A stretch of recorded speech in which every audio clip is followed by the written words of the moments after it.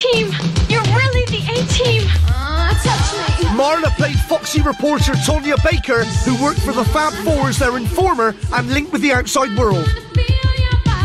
She was brought in to replace Amy Triple A Allen and spent most of her time acting the cocktease to keep the bad guys off the trail of the A team. But like her predecessor, Marla was dropped after just one series.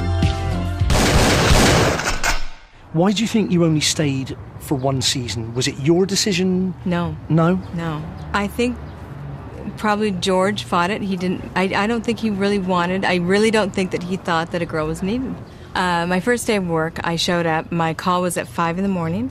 I put my things away in my trailer. I went to the makeup trailer. I maybe made it to the makeup trailer like at a minute after five. And uh, George was in the makeup trailer. Now, his call I don't think was till seven, but he was there. And he looked at his watch. He said, You're a minute late. I went, Oh, okay. And I was young, Yeah. and I was really happy to be on the show. Um, but that scared me. He was serious? Oh, he was very serious. He was really serious.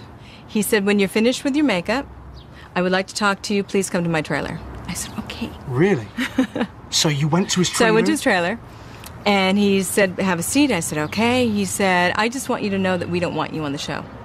He said, "We don't want you on the show." He said, "None of the guys want you here." He said, "The only reason you're here is because." Uh, the network and the producers want you. For some reason, they think they need a girl. It's your first day on the job.